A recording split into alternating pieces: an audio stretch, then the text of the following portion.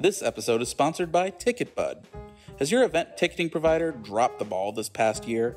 Have you lost access to personal customer support and account management? You need a ticketing partner you can rely on. TicketBud has always maintained personal customer support for all its clients at no extra cost. It's all part of the service, along with early payouts and access to all features. TicketBud also makes it easy to transfer event information from another provider. Get a 20% discount for all your 2021 events by visiting ticketbud.com slash gathergeeks.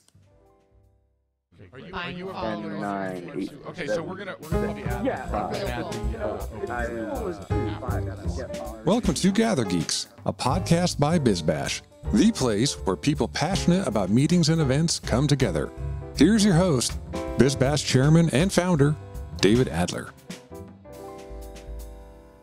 Today we're bringing you live sessions from the first BizBash conference in the post-COVID era. We all gathered in Las Vegas recently and had some wonderful conversations and presentations, and we're really excited to share these with you. So take a listen. We're thrilled to have you here in Vegas uh, with our partners Connect, and we have over a thousand people on our virtual audience. So we're looking at you in our camera. Hope you can see us. You're going to hear from some of those powerful people who are going to share ideas, inspiration, and intriguing insights because we need to know this stuff now more than ever because we're rusty. We're trying to get back in the game. No one knows what is going to happen. But I'm thrilled to introduce today our first panel, the new culinary experience. So joining us today is going to be Joe Cozza of JVC Catering, Thomas Whelan of Levy Event Restaurants, Zeke Bronfman from Cross Beverage Company, Kasha Mackelprang of Red Rock, where we're staying right here, which is a fantastic place, and joining us virtually, my friend Carla Ruben from Creative Edge Parties. So why don't we do that? I want to go through a little bit with each one of the panelists to tell a little about what they do so that you can understand uh, the perspective for our conversations that's coming up. We're going to actually be broadcasting this we're, uh, live right now. We're also going to have a, a Gather Geeks podcast on it as well. So this is a place where you're going to hear multiple stories and we'll be able to distribute it in different ways. So Joe, you've been my guru in events and catering for the last 20 years. Tell us a little bit about what you do. Thank you, Dave. What you've done too. Uh, thank you for all the amazing things you do for our industry. It's really exciting to be here at this beautiful hotel and uh, to present. I am the principal at JVC Catering and Consulting, a company I started in January after a 45 year career in catering and events with Sheraton Hotels, Hyatt Hotels, Fairmont Hotels, Marriott Hotels, and I was also the vice president of sales and marketing for Cipriani. So I've truly loved the industry for my entire career, and I'm so excited about getting back together and, and doing events again. And if anyone doesn't realize the buying power of the event industry, that we are really the trendsetters and uh, the people that know what's going on. Joe, how much business, as the head of the New York area Marriott's, your buying power is incredible, probably one of the biggest buyers of food and beverage in the world. Oh, yeah, so definitely. You're talking probably a couple of hundred million dollars in sales that generates a tremendous amount of buying. And I said uh, that's a lot of ketchup. Yeah, that's a lot of ketchup. Yeah, serve ketchup. absolutely. Mustard, ketchup, et cetera, et cetera. Yeah. absolutely. But every little thing you think about is also Yep. part of that. And, and we touch so many places. Thomas, you actually have a pretty nice buying power yourself. Yeah, Every like- time you think of something, it could be in the plates of thousands of people around the world. Yeah, Joe is playing in the ketchup and mustard. I'll keep the relish over here. But yeah, I'm with Levy Restaurants and specifically the Levy Convention Centers. We're all throughout the world. If you've been to London, we're there. If you've been to Greater Columbus, we're there. And we operate the food and beverage for all the convention centers as well as sports and entertainment, cultural attractions. So we're everywhere and we're here to help make your experiences even better. And your buying power is incredible too. Yes, I mean, we- we have a- we drive a lot of the business in, in this country. Yes, we're doing, you know, events every day from 30 to 30,000 plus. And then when you look at our stadiums, 65, 70,000. And to think we might have 100 to 200 of those events in one single day throughout operating under Levy, it's, So Yeah. you're just getting over your exhaustion. Yeah, I mean, the. COVID has been great for taking a break. so. getting those miles back soon. That's right. Our miles are interesting. Kasha Mackelprang, we're here at your, your place. Yes. Tell us what you guys do. This is one of these Las Vegas traditions. You've been open for many years. Tell us what you do. What your day-to-day life is like. Thank you all for being here virtually and in person. We're super, super excited to have um, our building full of like minded professionals. That's what it's all about. What a better group of people, or couldn't be a better group of people to um, open our doors to. We have been open since June 4th of 2020, so we have had a lot of events small, medium, large, but this is the one that is closest and dearest to my heart. I'm 25 years in the catering and events industry, and it's a blessing and a pleasure to have a virtual and a physical audience to talk to about getting our event industry back to its new norm. And welcome everyone. And Zeke Bronfman may not be able to brag about how many years he's been in the business, but why don't you talk about Sesh and, and what you're doing in terms of creating a completely new type of beverage company? Definitely. Thank you so much, David, for including me. I'm happy to be here. And as everyone has said, it's just so exciting to be getting back to life as we know it a little bit. My name is Zeke Bronfman, and I'm the co-founder and CEO of Cross Beverage Company. And we are focused on better for you brands that are in that emerging fourth category of beverage alcohol. So that's sort of anything in the FMB, RTD, or spike seltzer space separate from wine, Wait, spirits, Jo- can you um, translate that? Anything that's separate, so wine, beer, and spirits are the three traditional categories in beverage alcohol. And now there's a whole growing trend of ready to drink cocktails, flavored malt beverages, spiked seltzers, anything that you're seeing in cans pretty much these days that's taking up more and more share of the total beverage alcohol market every single year. And that's really where our brands are focused. And you're still in college. I am not currently in college, but I, I should be, I guess. Okay, you're one of those highly uh, motivated people that will go back. Exactly. exactly. Carla, where the hell are you and what are you doing? Great question, David. I'm so happy to see you. I wish I was there with you. I'm actually in St. Thomas finishing up a five day event. I think I've averaged about four hours of sleep. And as you said before, my muscle is a little bit weak being at parties right now because we all have been waiting for this day to come back and the business is coming back for sure. And you have a large crowd there, I hear? Yeah, all five people. this industry is incredible. We love it because you, you can have a conversation with any one of these people and find about find out about something new that you never even would have heard of before. And before we go into sort of what's going on today, Joe and I were honored like maybe 10 years ago. Yeah. And at, at, some, at an industry event. Yes. And Joe, in his speech, decided to give us the menu for what it was like in 1980. So I want you to go through the past and, Okay. and bring us up to the future. Well, thank you. I'll be the historian and talk a little bit about what happened and and where we were back then. My first slide, Is not going. okay. Oh, here it is. There Yeah, it is. it's here it is. There it is. Okay, so I was opening the Grand Hyatt in 1980 in New York City, and at the time I decided to collect the menus from all the top hotel competitors in the market.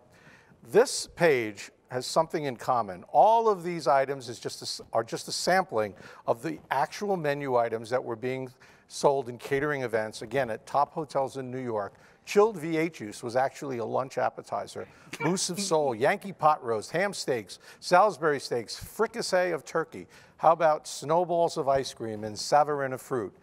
Notice coffee, Sanka, and tea. We didn't brew decaffeinated coffee back then. We had something called Sanka, which was a lovely little packet that you put into hot water for those of you not familiar with it. Wait, so Kasha, do not get any ideas about V8. Great food cost. So let's take a look at what was happening with pricing back in 1980.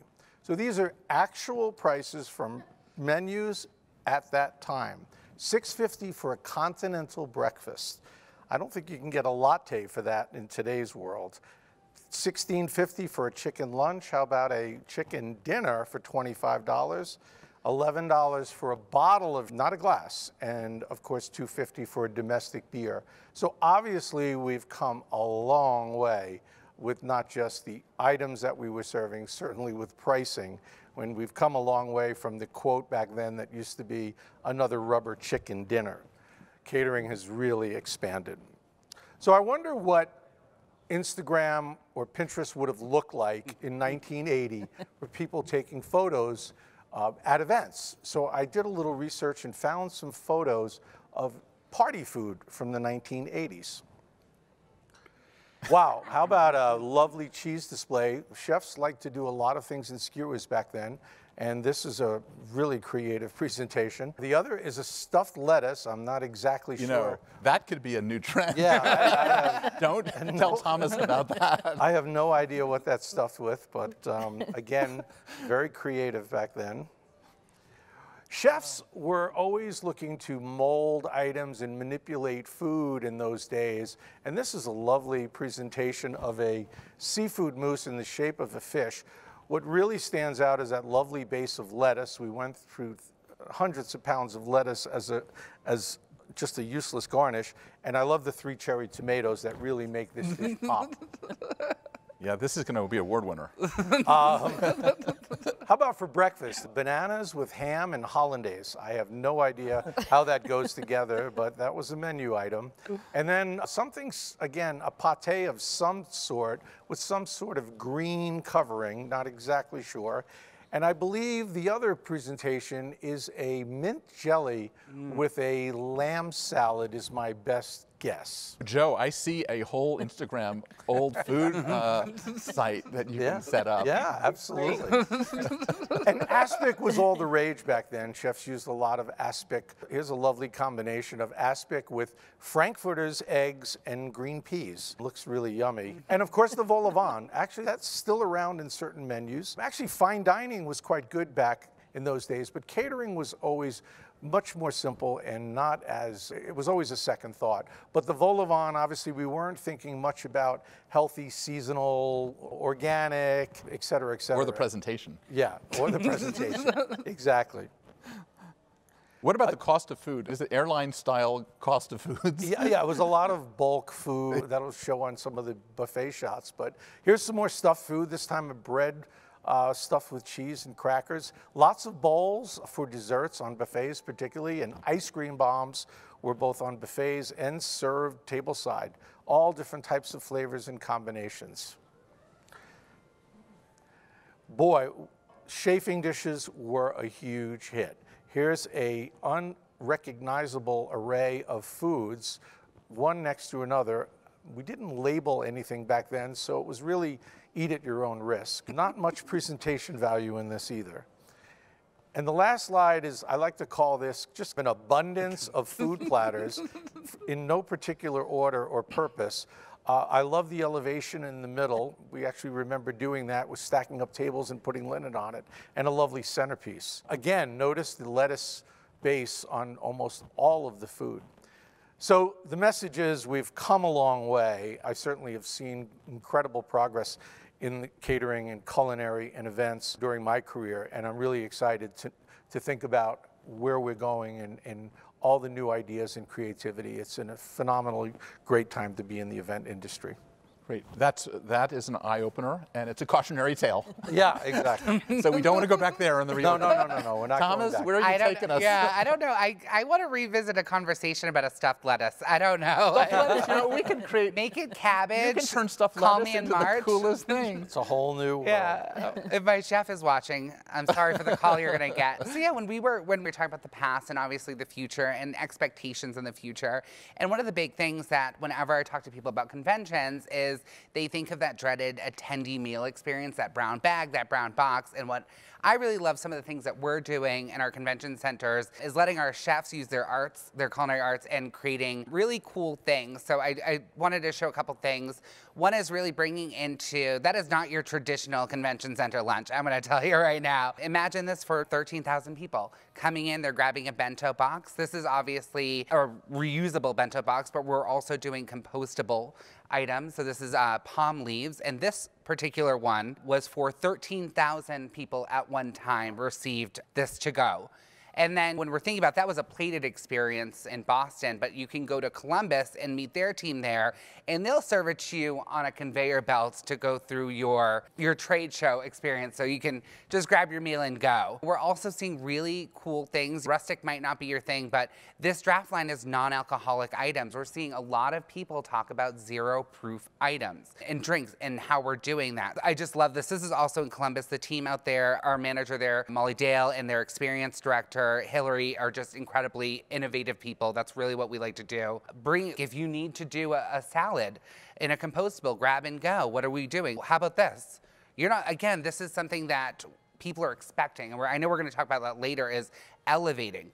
We're doing uh, pho, pho for people. You grab your offering, and then you right behind you is a broth station. Choose your own broth. You can add your sriracha.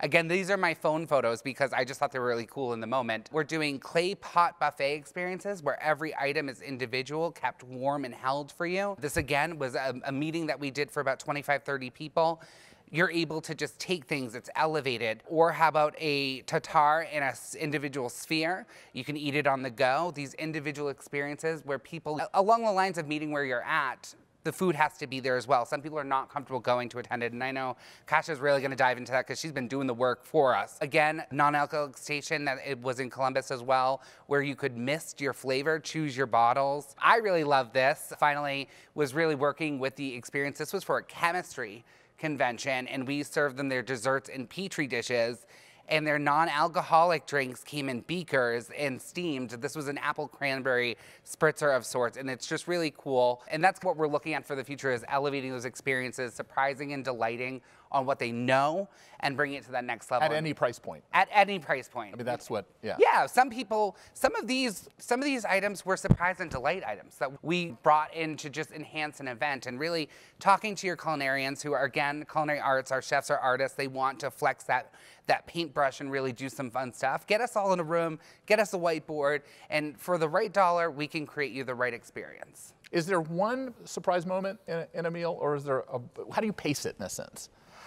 In, in my opinion, it's you're going for two things. I always want it to look and taste great. And then when you go up to see how it's presented, have that be a part of the enhancement. Utilizing at least four, to, four out of the five senses at all time. I think that's the whole element right now. People, after being at home and they've explored one side of their menu that they order from all the time, what we're seeing is people are on the other side of the menu. They want new, they want different, and they want what they're used to, but better. And we all stumbled onto YouTube during the last 15 months and found Bon Appetit and all the different cooking shows. Now we're all at home chefs and they want the meals that they can make, but better. And now they know how to make it. So we have to even amplify it. Yeah. But, what, but the thing is that when you do a plan, do you do one or two like really fabulous moments, or do you have to make every single thing? I, I, think you start with the one, and it, it's like going upstairs. You start with the one, you start with the two, you go to the two, and you keep adding because you don't want to do something to make it exceptional and it fails. Right. You can't the focus. Risk is, it's very risky. The risk and the reward has to be there. So yeah. when you're doing very large scale events, 30,000 people, if you want to have that surprise and awe moment, you got to nail one. If it's one a day, sometimes over the five days with 60,000 people, it could be just once where you're just like, blown away. Yep. And then the next event, try to get to that second. But you have to take it in baby steps at that level. And in my, I think we've all done it. And at one point, you'll start the rinse and repeat of the wow moments because that's what's great about conventions. We get some people once a year, we can do a new element. Right. And it's always a constant surprise for them. But you're starting from scratch right now because yes. it's the new world. You're not repeating, rinse and repeating from no. old days. No, there's no more rinse and repeating. No. There's hand washing. Thank you for everyone. yeah, there's hand washing yeah, there, we, we are, if we got a new dishwasher in our industry, I think like we're not rinsing and repeating. We have brand new plates, brand new machines, Everything. brand new staff. Yeah. That's what they did.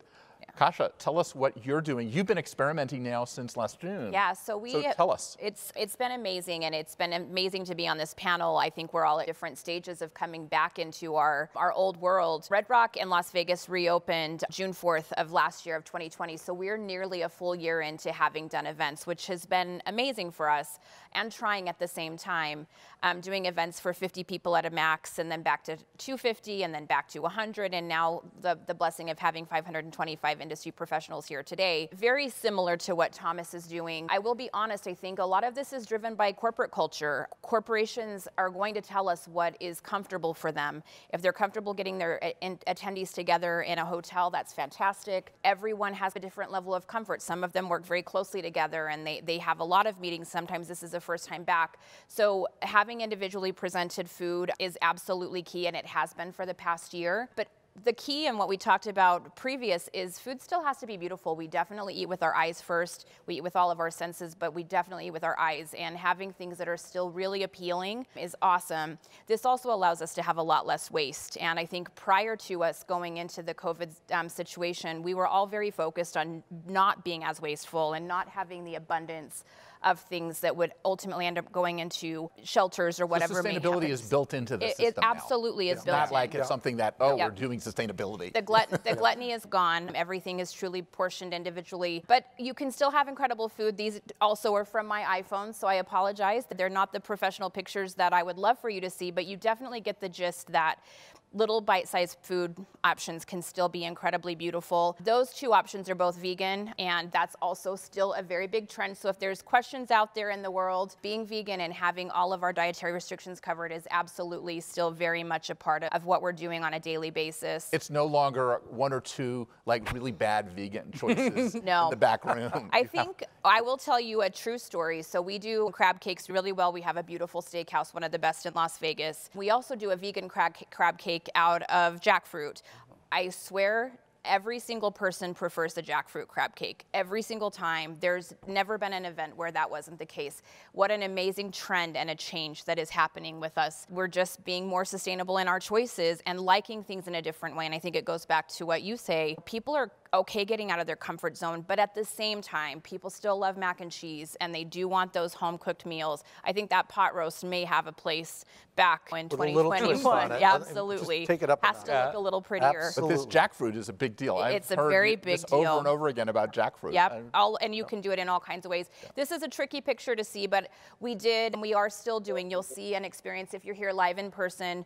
Um, we are doing cafeteria style service, creating the barrier between the food and um, the guest. So there's only a single person, which is a chef handling all of utensils. I do believe, putting it out there for the world, I believe in some of the more um, progressive cities and states this will be going away. Las Vegas, Nevada, for instance, is allowing open buffets now. So we're allowing self service again with some regulations in place. But I think this again will be one of those things where we have to really take the lead from our companies and our partners. If they feel comfortable having self service, that's what we'll offer.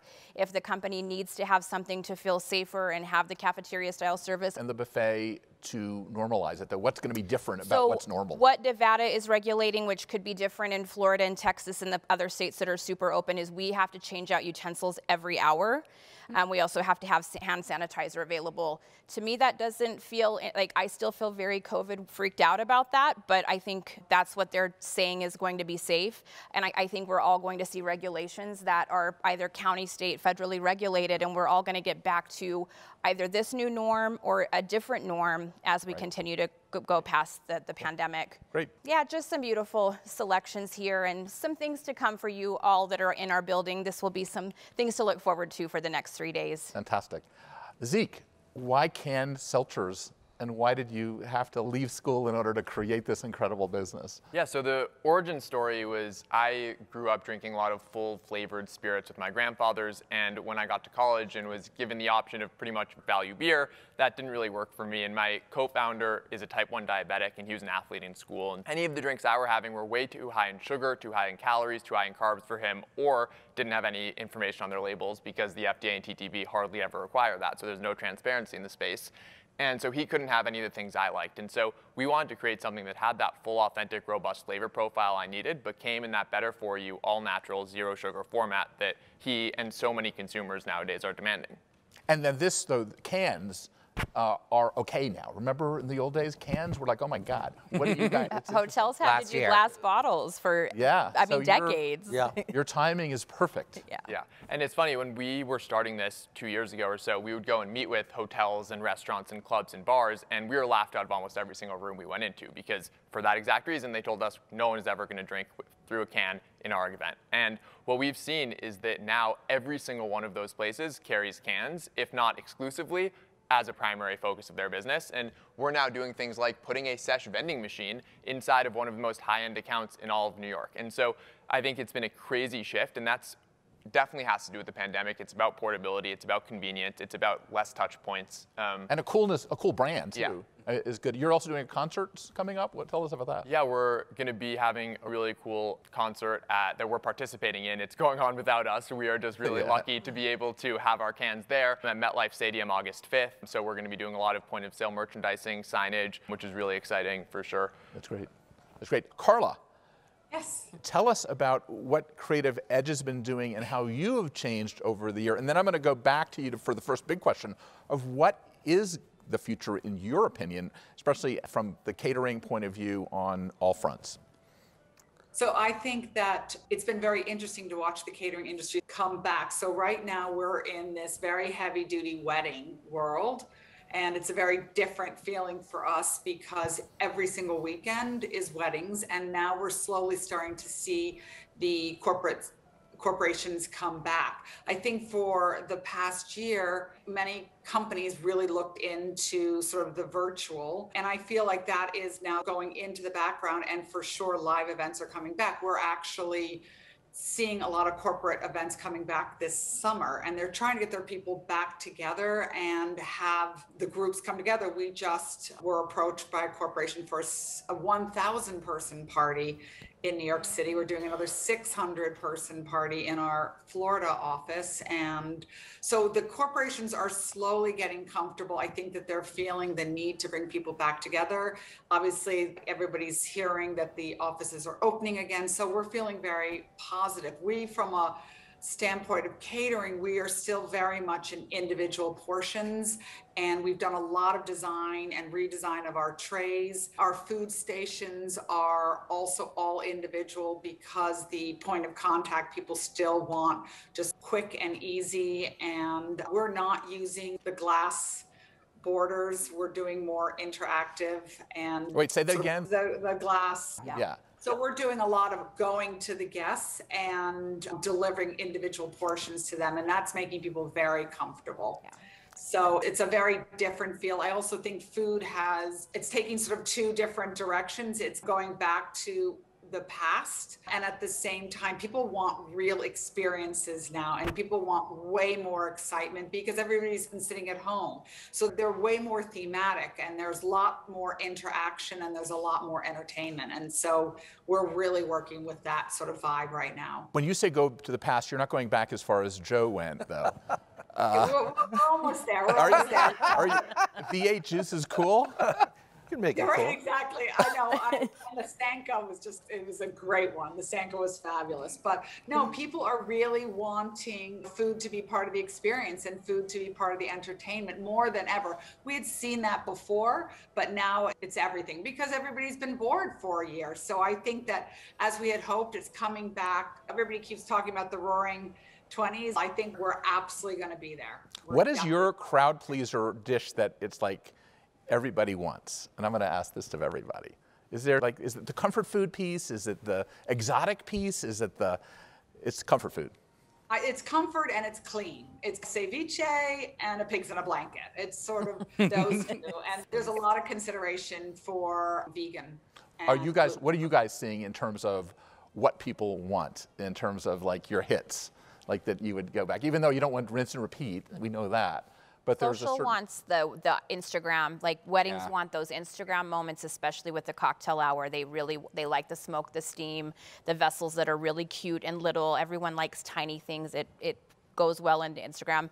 I think our corporate events are still liking that very familiar, very comfortable, all of the dietary accommodations met without a lot of hassle. I think we're seeing a double-edged approach. Yes. And there's a lot. I think you're seeing lot. the protein on plates. I know the, the vegan, when you talk about movements versus trends, I think a lot of the movements in our food and culinary experiences were started pre-pandemic, but now uh, it's just taken on even a, a, a, bigger role in everything that we do.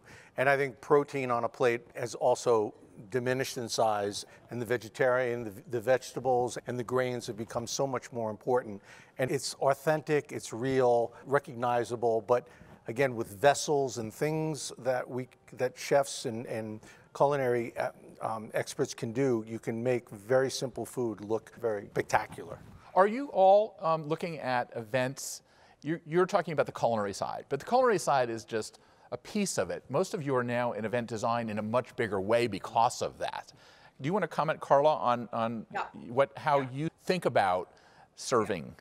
It's interesting because so many times I feel like in one way we're the event designer but it's all around food because food can become the design of the event. So we put a lot into that. We have a 10,000 square foot design studio with Lucite and woodcutter and, and metal welder, and we are constantly taking the marketing message of a company and helping develop that in the guest experience. So sometimes we start with the design and then we decide what the food's going to be. It doesn't, it's not always food first. It can just be what's the experience going to be. Like we did an event uh, recently where it was a disco night and we actually got small record players.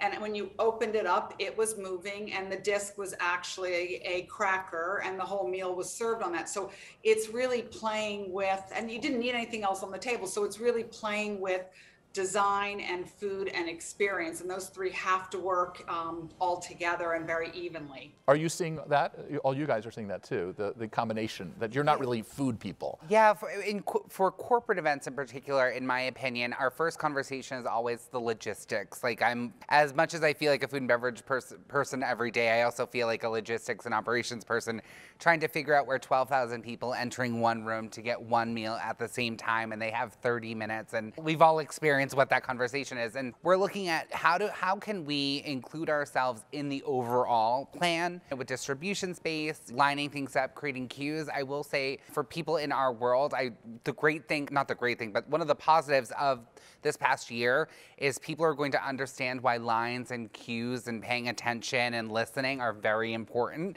So I'm really, maybe I've just convinced myself that I'm not gonna have those resistance conversations. Carla might disagree. I'm thinking like, how can we, work, that has to be more inclusive and especially to touch on what you were saying with corporate is on its way. They realize the necessity for events. We all know the necessity for in-person events, but the liability plus also considerations of their corporate social responsibility. I love that people are asking for convention centers. What do you have that's unique? If you go to Javits in New York, they have a they have their honey. They make their own honey from their bee farm. We have a community garden in Boston. So that's something that a lot of corporate and also our relationships with minority vendors, our relationships with local vendors, those are bigger conversations, almost logistics and inclusion that are happening in the menu planning, which I love. But it's all part of the um, mix. You've got to bring that up. Yes. Uh, as what you're doing. And uh, Carla and I always joke about the one thing everyone says, I want to do something that no one else has thought of. How many of us have heard of that? well, yeah. It, I also think a big part of it is offering variety, particularly if you're, you're talking about corporate events.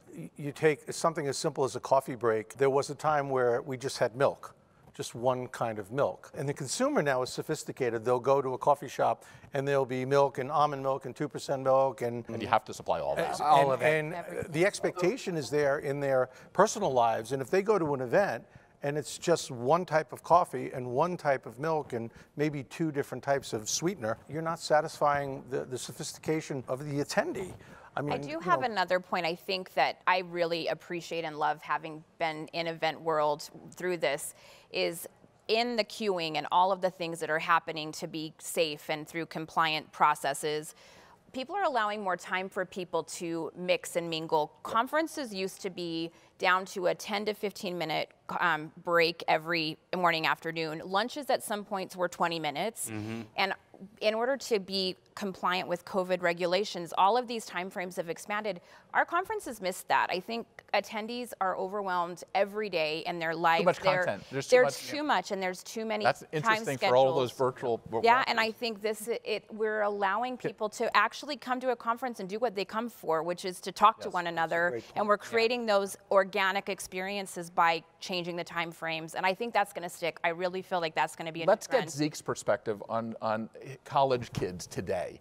Are they, you're hearing what we're saying. Are you saying, are we in touch with what's going on in what these people are saying, or are we so far off? No, absolutely. First, let me preface it by saying I'm probably the least least hip 21 year old you'll find. So, yeah. with that caveat being said, I think that what we're seeing is I remember a year ago, year and a half ago, when this was all breaking out, there were all these conversations and hypotheses about how the world would fundamentally change. Would we ever shake hands again? Would we ever go to a conference like this again? And I think what we've seen now, year, year and a half into this, is that those things that are so fundamental to human nature are never going to change. And if this is the only evidence we need, here it is. But I think that what is changing and what's accelerating are changes and trends that were already in progress before the pandemic hit. And those are things like health and wellness. And that's been in motion for years. People have been trending towards organic, lower sugar products. But now that they understand what a massive impact this has on their lives, and how relevant it can be to them, it's becoming more and more common. People are looking at labels way more than they did before, and that's accelerated that trend by five or 10 years. I think the same thing with convenience and portability and reducing touch points. So that applies across the different things, and I don't think that's different on different age groups. I think that people are more comfortable in our age group adapting to this change and moving forward with this progress, but I think that with the new times, older generations are becoming used to it and figuring it out as well. I think social media has changed everything too, because Absolutely. we're able to peek over the fence to see what other people are doing. You used to not be able to get into someone else's event, but the whole purpose of BizBash was to peek over the fence and see what people are doing. And so I think that we're all learning, we're all becoming one homogenous age yeah. in many cases. Uh, let's move a little bit to the bar since we have uh, Zeke here, who is he can now drink and he's producing an alcoholic product. What is going on at the bar? Carla, do you want to talk about it first? What do you see at what are you serving like this weekend at your big? I do. Zeke is absolutely spot on. We actually have been doing the cafe at the Van Gogh exhibition in Miami. We're about to open another cafe at the Van Gogh exhibition in New York. And exactly what Zeke's doing is actually our number one seller. So it's been very interesting. The canned drinks, the individuality, the cleanliness, that's been a big thing. And I think we'll be bringing that uh, concept into catering because it's always been a challenge to get specialty drinks to a thousand people within, you know, five minutes of entering. So I think that there's some play there. I also think the individualized drinks being packaged and personalized is a big deal also. Everybody wants everything personalized, not just weddings, but corporations. And also with this sort of everybody coming back, it's more important than ever that company logos and brands are, are being promoted. So we're doing a lot of that in the drinks, either in the ice cubes or with a dusting on top or individually packaged specialty cocktails with clients' names on them. Really? How about the quality? Uh, Joe, well, I, I, also go back to the point I made before about variety and offering different choices. I, obviously, the ready-to-drink uh, cocktails are, are all the rage now and coming in. But in addition to that, I think the days of having one red and one white wine are gone. I think you need a, a, variety of reds, a variety of whites. Not everyone drinks Cabernet and Chardonnay, although they're wonderful. You, you need a Sauvignon Blanc, you might need a Pinot Noir, same thing with beers, and same thing with spirits. Offering a variety, a single malt scotch and a blended scotch, again, it's all about that sophistication of the guest and the client who, who is living that every day and in, in a bar or in a restaurant that they go to. And then the expectation is that catering needs to follow through. Are we upping the game in wine and brands? Are we? Oh. Are people asking and willing to pay? A absolutely. Yes. yes. I believe so that. Quality, yes.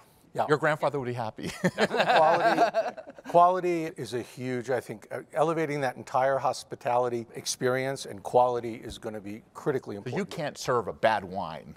No, or else no, you're going to get no. killed. No, right? You, you if you want to sell it, you need to serve something nice. Right. Carla. Right. Yeah, it's actually more about tequilas right now, and wines have taken a little bit of a back seat to the tequila world or the vodka gin world. So mm-hmm. brand names and brand mm-hmm. recognition are huge.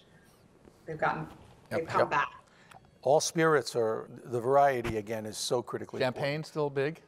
Uh, yeah, uh, Prosecco, champagne. Yeah, I get more requests for Prosecco right now, I think, than actual champagne. From a cost perspective for large scale events, it's great, much better. Great uh, beverage. Yep. But yeah, and who doesn't love a good sparkling? And also, we saw the push, or I felt the push of sparkling rosés being yeah, a standard. Sparkling rosé. Yeah. Rosé all day. It's been. To also comment on what Zeke was saying, like, I was opening a ballpark last week in Massachusetts. and we dropping had, names of venues. no, and we could not keep seltzers in Seltzer, that fourth really? category, seltzers are wild. And the expectation is not only that you have seltzers on site, you also have a bunch of flavors. What the flavors people want is, which I just, this fourth category, including bottled spirits and pre-made cocktails being in really cute bottles and presentable and sponsorship opportunities, like people want that. And also, I don't know if that's from COVID and wanting everything individualized and personalized, or if people are just like, you know what, I like this is mine, and I know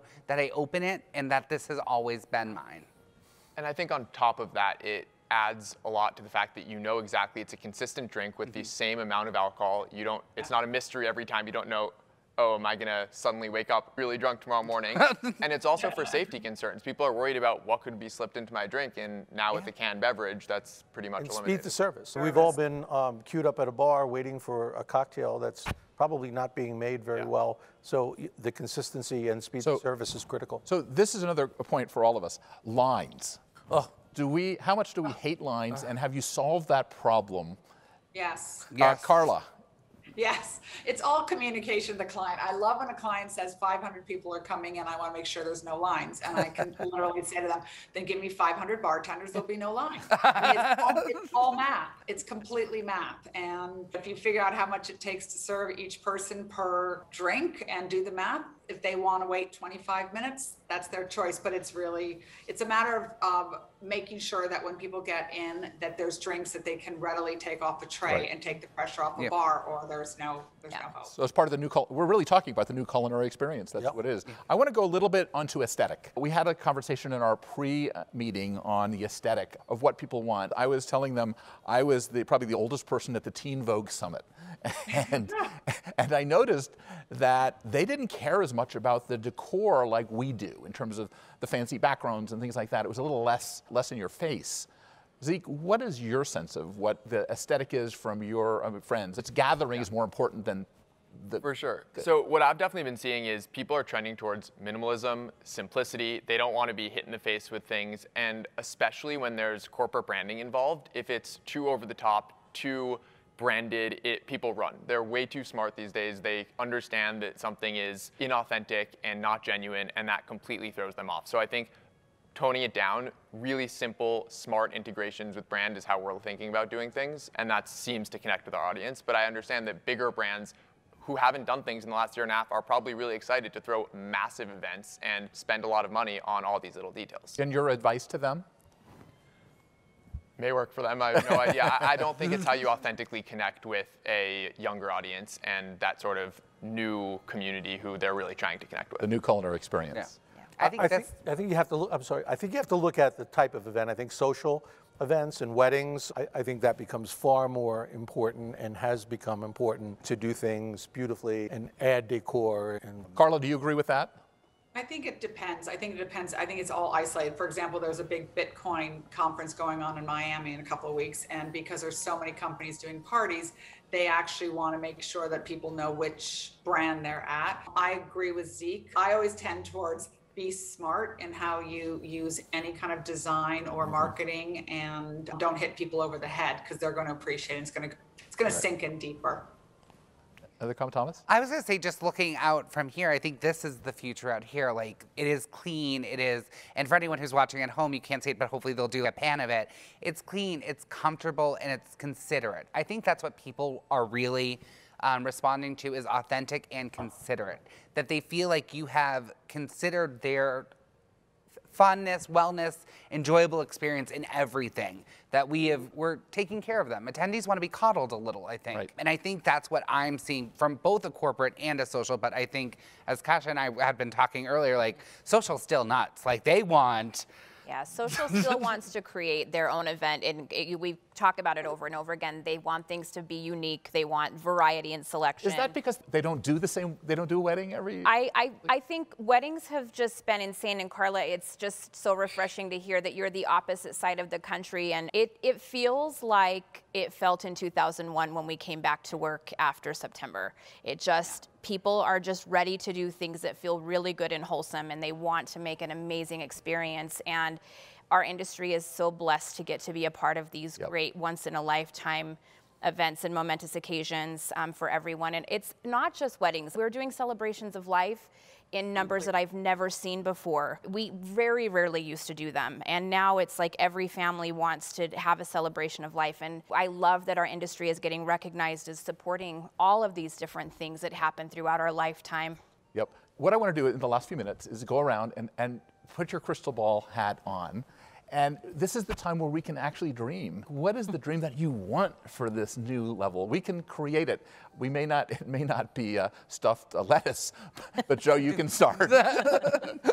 What our dreams? What do you think is going to happen? Com- final comments of the new Well, culinary agenda. I, I think more now than ever, people, I know I'm tired of cooking. I'd like to go out more for dinner. I'd like to go to more events. I think many people are. We've all become chefs at home over the last year plus.